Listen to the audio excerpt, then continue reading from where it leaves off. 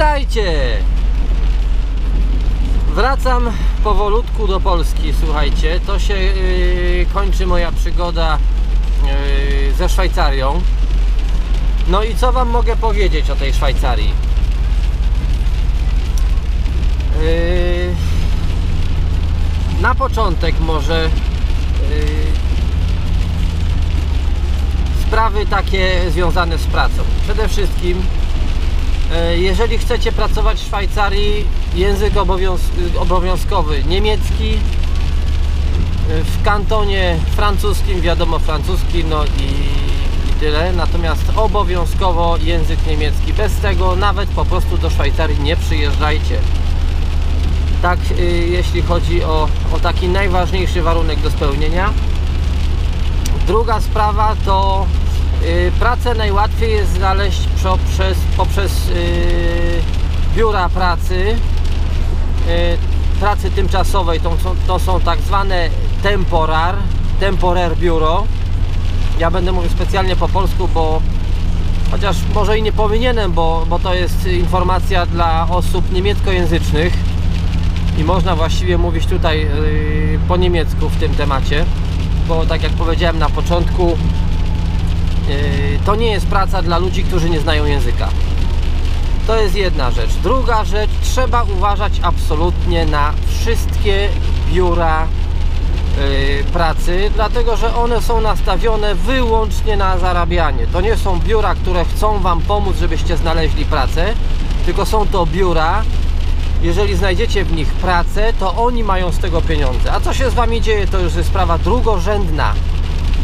Yy, mocno drugorzędna. Najważniejsze jest to, żeby, żebyście Wy dla nich zarobili kasę. I czy będziecie pracowali dla nich tydzień i przyjedziecie 1200 czy 1300 km, tak jak ja mam, a są ludzie, którzy yy, przyjeżdżają tutaj z Gdańska, z Gdyni, yy,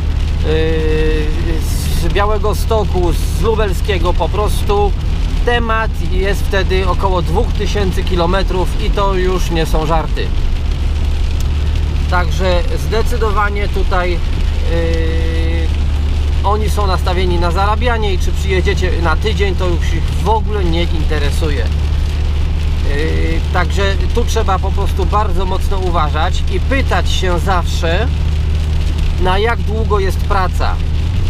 Yy, Pamiętajcie, że hotele tutaj, hotele, pokoje można powiedzieć, bo to są przeważnie y, pokoje się wynajmuje, yy, są bardzo drogie i za miesiąc, yy, zależy od kantonu, trzeba płacić od 600 do 1000 franków miesięcznie.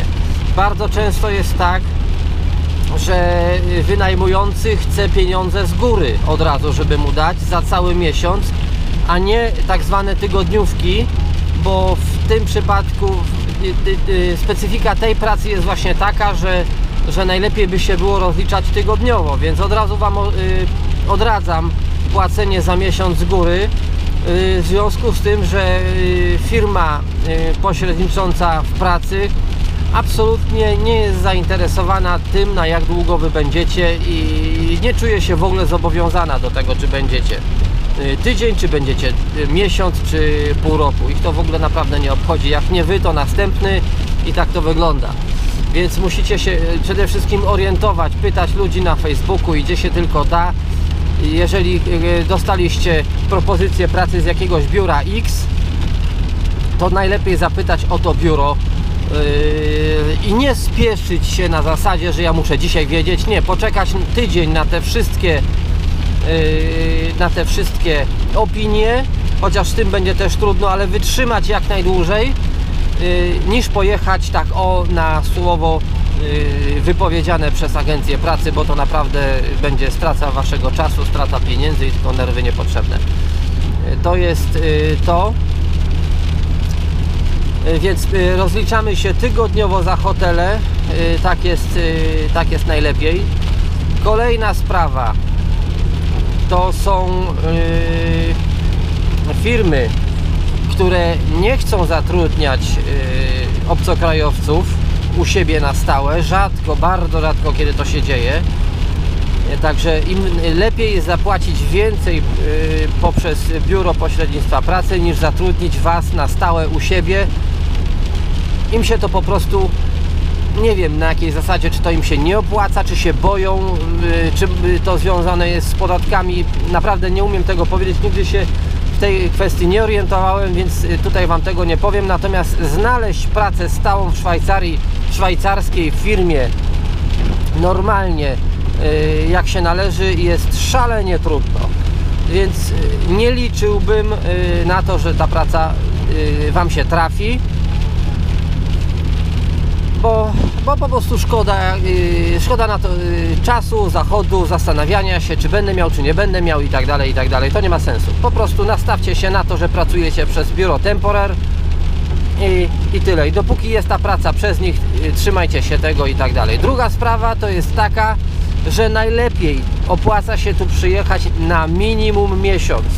Przez to właśnie, że są te koszty podróży bardzo drogie, że hotel jest bardzo drogi i żeby zarobić jakieś pieniądze trzeba być minimum miesiąc. Żeby coś przywieźć y, do Polski i żeby to był jakiś sens y, tej pracy w Szwajcarii. Oczywiście w Szwajcarii zarobki są dużo, dużo lepsze niż y, w Austrii i w Niemczech ale mówię, to musi się opłacać długością Kolejna sprawa, jest to tak daleko, że zjazdy do Polski właściwie nie mają sensu, chyba że ktoś po prostu lubi się męczyć i zjeżdżać y, w piątek po robocie, żeby w poniedziałek z samego rana być w pracy. Dla mnie to jest absolutnie bez sensu, bo to jest w moim przypadku około 2,5 tysiąca kilometrów nie wyobrażam sobie po prostu wy, pojechać w piątek po pracy y, do domu i żeby w niedzielę po południu wyjechać i być na rano w poniedziałek. To jest... To, to, to się mija z celem. Także odradzam Wam takie coś, bo to jest za daleka trasa.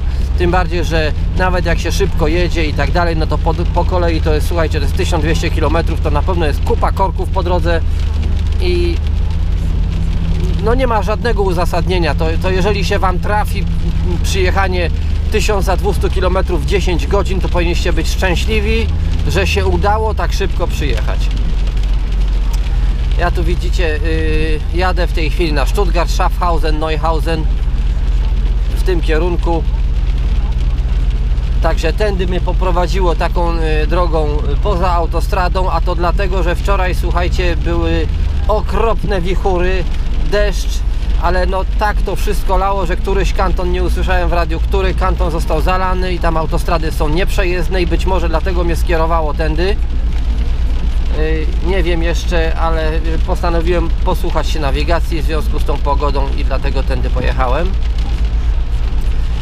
Y, co jeszcze jeśli chodzi o pracę? Trzeba mieć oczywiście y, własne ubranie, kask. Nie wszędzie wymagają, nie na każdej budowie wymagają kasków, ale ubranie trzeba mieć własne buty y, ochronne, te z tym metalowym czubkiem. Obowiązkowo y, tego tematu nie przeskoczycie i tyle. Co jeszcze mógłbym Wam powiedzieć o pracy w Szwajcarii? Diety diety na pewno, słuchajcie, diety tu są różne. Można trafić od, znaczy 15 franków to jest minimum. Naprawdę to jest absolutne minimum, jakie płaci się jakie się płaci, jakie firmy muszą płacić yy, za za pracę yy, tą wyjazdową. Czekajcie, muszę się skupić, bo tu bo tu jest chyba już blisko granicy dosyć i trzeba będzie troszeczkę wolniej no w każdym razie 15, ale płacą też 20, natomiast bardzo niechętnie. Kwestia po prostu wszystkiego yy, tego, żeby się to yy, yy, dogadać, prawda? Druga sprawa to firmy drą na pracowniku ile się tylko da. Y, proponują 30 yy, franków na godzinę, 32 franki na godzinę, 33 franki na godzinę i powiem Wam, że w takim przypadku nie ma co z tymi firmami rozmawiać, bo naprawdę one na początku to są ludzie do rany przyłóż, no naprawdę, oni Was witają, mówią do Was przyjacielu i jak wspaniale, cieszymy się, że jesteś, zobaczysz, u nas będziesz miał wszystko, co tylko zechcesz, po prostu tylko musisz oczywiście zdać tak zwany, zdobyć zaufanie. To będzie krok po kroku, prawda, stopień po stopniu, aż będziesz już takim yy, pracownikiem fajnym, fantastycznym. Ja im zawsze tłumaczę, że yy, to niestety tak nie działa. Mówię, że u mnie to jest tak, i ja tak mówię, rozmawiam właśnie z firmami tymi, tymi temporer, że to nie jest, że ja muszę zdobyć ich zaufanie, tylko oni muszą zdobyć moje zaufanie. To polega to na tym, że w momencie, kiedy ja na przykład yy, oczekuję wypłaty w poniedziałek bądź we wtorek, to ta wypłata być musi. I nie może być tak, że my jeszcze wie... Oni się tłumaczą w ten sposób, że myśmy jeszcze nie dostali yy, z tej firmy yy, od zleceniodawcy, nie dostaliśmy jeszcze żadnej informacji, nie ma potwierdzenia, że Twoje godziny się zgadzają i tak dalej. Słuchajcie, Arbeitsrapport jest, jest wystarczającym potwierdzeniem tego, że dostaliście y, potwierdzenie godzin, macie podpisane godziny i tu po prostu firma y, się głupio tłumaczy, dlatego że oni mają często inne terminy płatności i nie mają jak y, realizować tych swoich płatności i się tłumaczą. Wystarczy im powiedzieć wtedy, słuchajcie, ja jestem tu pracownikiem i wasze problemy jako takie mnie nie interesują. Gdybym był zainteresowany waszymi problemami, to sam bym firmę założył i wtedy miałbym problemy z wypłacaniem. Ale po to jestem pracownikiem, żeby tych problemów nie mieć. Wiem, że zarabiam w związku z tym mniej, ale to, czy macie pieniądze dla mnie, czy nie, to jest wyłącznie wasza sprawa i zgodnie z umową ja mam pieniądze dostać w poniedziałek bądź we wtorek najpóźniej. I oni po prostu wtedy są postawieni, że tak powiem, do pionu i od razu widzicie, czy ta firma będzie chciała kombinować, czy po prostu jest na tyle rzetelna, że będzie płacić od razu i, i nikt do nikogo pretensji miał nie będzie. Także yy, to w ten sposób. Kolejna sprawa, jeśli chodzi o pracę, pracuje się tutaj bardzo różnie. Yy, przy dużych firmach yy, nie polecam pracy w dużych firmach, dlatego że tam to jest ciągle więcej, szybciej, więcej, szybciej i to też trzeba po prostu od razu na początku powiedzieć jasno, słuchajcie, ja nie mam płacone za akord, tylko mam płacone za godziny i nie będę zasuwał dwa razy szybciej i dwa razy więcej, dlatego że Wy płacicie firmie Temporer. Proszę mnie zatrudnić u siebie na czas na przykład określony 3 miesięcy, płacić mi taką i taką stawkę za godzinę i wtedy będzie wszystko ok. Bo ja nie będę zarabiał na Was w sensie, że robił dwa razy więcej, bo Wy więcej płacicie. Nic z tych rzeczy. Więc od razu to też trzeba powiedzieć i ustawić ich do pionu, żeby oni wiedzieli po prostu co jest grane mam płacone za godziny i zgodnie z tym wykonuję swoją pracę. Także to przy dużych firmach od razu Wam odradzam pracę dla dużych firm. Yy, najlepiej się pracuje, yy, z małymi firmami. Yy, jest ta atmosfera zupełnie inna, sympatyczna. Y, mało ludzi, do 10 osób i wszystko fajnie y, się pracuje. Przynajmniej takie ja mam doświadczenia i dlatego Wam y, w ten sposób polecam pracę w Szwajcarii to yy, kolejna sprawa. Yy, następną sprawą jest yy, to, czy jest Wam w firmie dobrze, czy, czy nie wiem, atmosfera nie pasuje, czy za, praca powiedzmy Wam nie odpowiada, warunki pracy, obojętnie, to po prostu coś, co Wam nie pasuje, no to słuchajcie, zmieniajcie od razu. Nie ma na co czekać, szukajcie po tej pracy tak długo, aż y, znajdziecie odpowiednią dla siebie i nie ma co się y, tutaj szczypać, przejmować, że mam pracę i tak dalej. Ja tutaj teraz byłem w Szwajcarii dwa tygodnie i powiem Wam, że bez przesady miałem około 50 telefonów z różnych agencji o pracę żebym przyszedł do nich i tak dalej, i tak dalej, bo oni potrzebują, bo oni to, bo oni tamto, więc pracy jest tutaj od groma. Tyle tylko, że ta praca właśnie, o której cały czas mówię, yy, musi być na ten przynajmniej miesiąc. Oczywiście, jeżeli znajdziecie pracę na tydzień, to jeżeli jesteście obrotni, no to oczywiście znajdziecie sobie pracę natychmiast, bo ja miałem taki przypadek, słuchajcie, że pojechałem do jednej z firm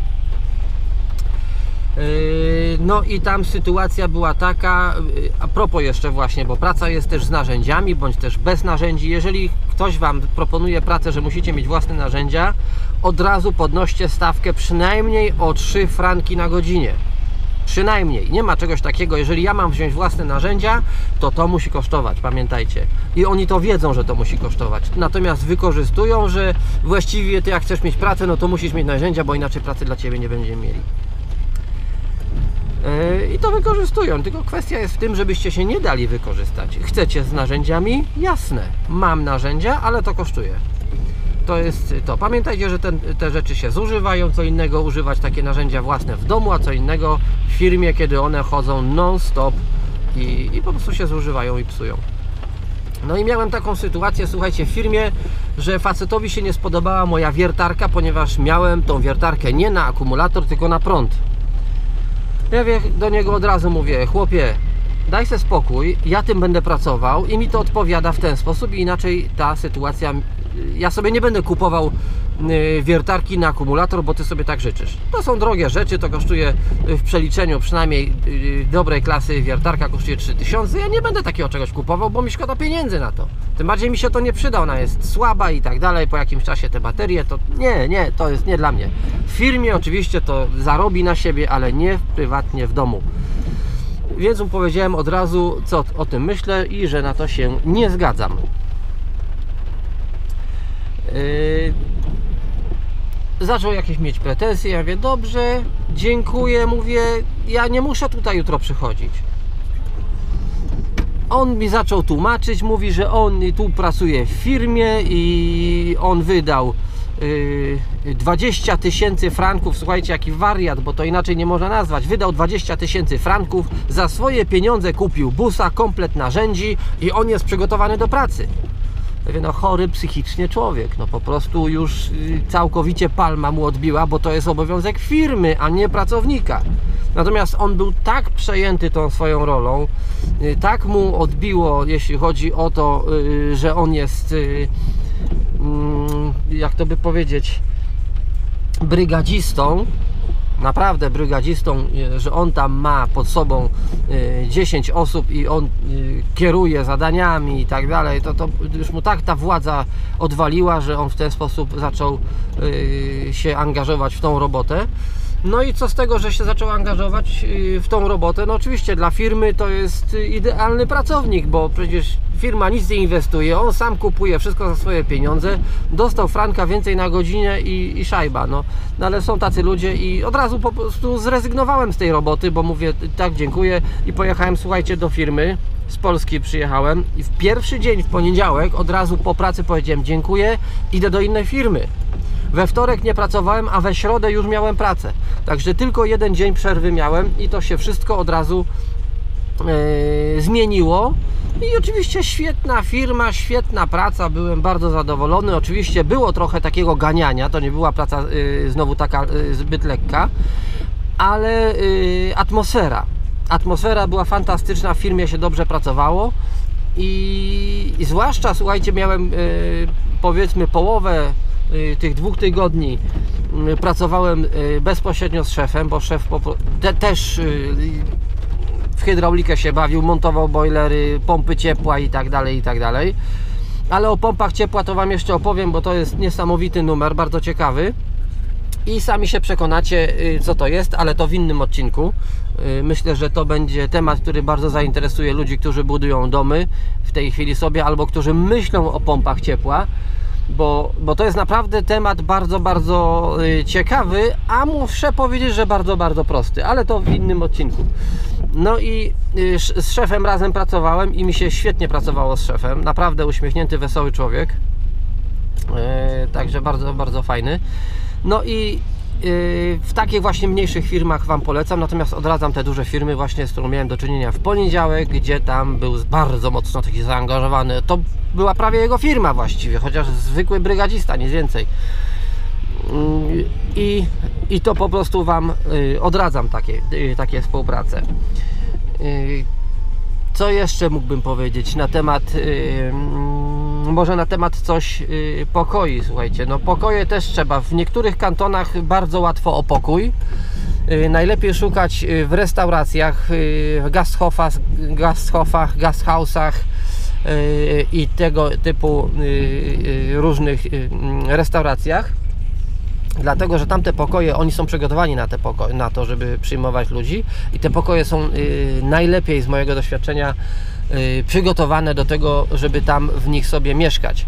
Natomiast jeżeli Wam przyjdzie y, mieszkać w takim y, domu, gdzie, gdzie ktoś zorganizował jakiś dom, żeby go wynajmować i dla każdy pracownik ma y, swój pokój, no to to odradzam, dlatego że tam są y, bardzo często, bardzo często naprawdę wspólne kuchnie, wspólne toalety, wspólne prysznice i tak dalej, wszystko wspólne. To jeszcze to nie byłoby takie złe, ale warunki naprawdę to jest zrobione na minimum, żeby, żeby było jakieś łóżko, żeby był jakiś stół, żeby była jakaś lodówka. Yy, No i to wszystko, także zobaczycie, widzieć, widzieliście w moich filmach jak te yy, pokoje wyglądają bardzo różnie. No i powiem Wam, że w tych gasthouse'ach, yy, gasthofach to będzie ten pokój najtańszy, będzie można yy, go yy, kupić, że tak powiem, za 600-700 franków za miesiąc, natomiast w tych domach, gdzie się wynajmuje pokoje, no to już te te opłaty będą od 700, bardzo często od 800 do 1000 za, za pokój miesięcznie. No i przede wszystkim wracam jeszcze raz do tego tematu. Pamiętajcie o rozliczeniu cotygodniowym. To jest bardzo ważne, żebyście potem się nie zdziwili, że macie problem, bo załatwiliście prasę na przykład sobie w Basel, w Zurichu, yy, w Bern, a i tam macie na przykład pokój, po czym y, z jakichś powodów y, praca się zmienia i nagle dostajecie pracę w St. Gallen i do widzenia. Nie dojedziecie już i pieniądze przepadają, więc to co mieliście zarobić po, poszło na, na pokój. Więc to też trzeba y, wziąć y, pod uwagę, żeby się nie pakować w płacenie y, miesięczne. Ceny w Szwajcarii, słuchajcie, ceny w Szwajcarii żywności są masakrycznie drogie. Masakrycznie drogie. Masło jest bardzo drogie, jajka są bardzo drogie, sery są kosmicznie drogie, mięso i tak dalej, i tak dalej. To wszystko są drogie rzeczy, stąd oni wprowadzają limity. Jakie limity te są? Na internecie, na Facebooku na pewno sobie znajdziecie, tam jest kilogram chyba y, na biału można przywieźć, y, kilogram mięsa, y, ale to, to sobie sprawdzicie co i jak. I nie radzę przywozić więcej, ponieważ za każde, każdą nadwyżkę y, żywności płaci się 100 franków od kilograma kary.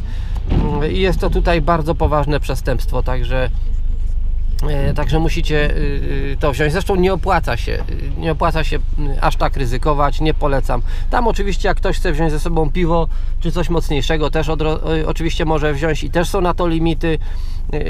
Czy papierosy, jak ktoś pali, ja akurat na szczęście nie palę, więc nie mam tego problemu, ale pamiętajcie, że są limity i trzeba się do tego stosować, bo, bo kary są ogromne i, i nic się nie opłaca.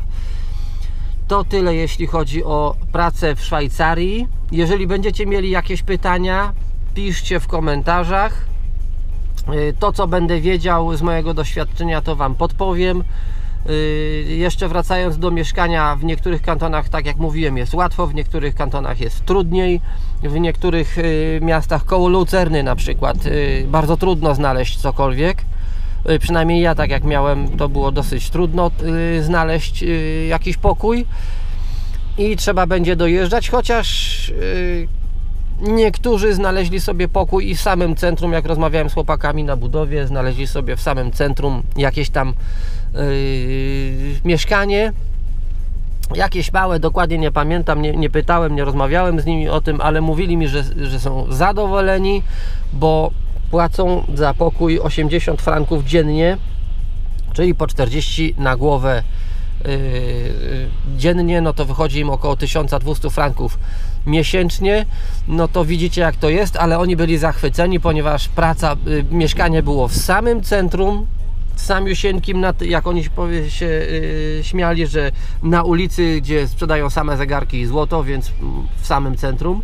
No a do pracy mieli na piechotę 10 minut, więc biorąc pod uwagę dojazdy, paliwo, czas i tak dalej, no to rzeczywiście można przyjąć, że to była dosyć dobra oferta. No ale takie rzeczy są sporadyczne. No to pamiętajcie w każdym razie, jeżeli chcecie coś wiedzieć, wybieracie się do Szwajcarii do pracy, piszcie w komentarzach to co będę wam y, to co będę wiedział, to wam oczywiście napiszę, podpowiem, doradzę.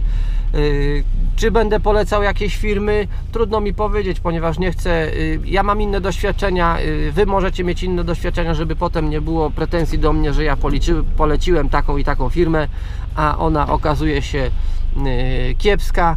Natomiast będę wam mógł z całą pewnością, jeżeli mnie zapytacie o jakąś firmę, a tą firmę zna, będę znał, to mogę Wam y, doradzić, czy jechać, czy, czy, by, czy ja bym pojechał, czy bym nie pojechał, to w tym sensie. Natomiast czy Wam polecę tą firmę, czy nie, to już jest inna sprawa. Natomiast mogę Wam powiedzieć, podajecie mi nazwę, Wy mówicie, czy ta firma jest dobra, to, to Wam mogę powiedzieć na tej zasadzie. Ja mam z tą doświadczenia, z tą firmą doś, dobre doświadczenia, albo też z tą firmą mam doświadczenia złe.